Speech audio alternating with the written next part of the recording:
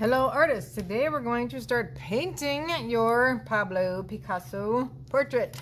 We will be using watercolors and we will have the doggy bowls out. Reason for the doggy bowls and the reason there's water on two sides is one side is going to stay clean.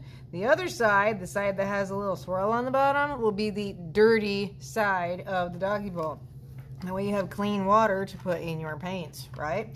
So when you're painting with watercolor, for one, you have to get it wet first. You have to wake it up. So you put a couple drops of water in and stir. And notice how even though there's white on the bottom of this, it still works. There's still color there.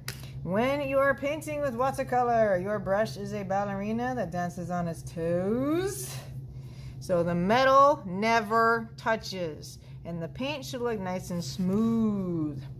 So my brush is now dirty. It goes on the dirty side so I can reload. And if the color is too light, it just means you need a little less water.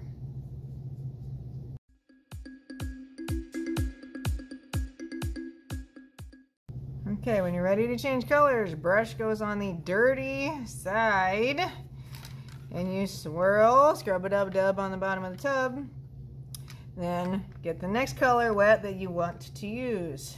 Now, when you're painting with watercolor, we do not want to paint two super wet things side by side. Like this is really wet. I don't want to paint this yet.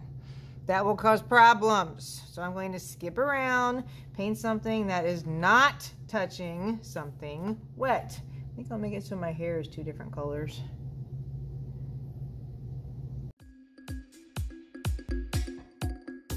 If you have puddles, if they bother you, pinch your brush dry, and then you can use your brush like the world's tiniest mop.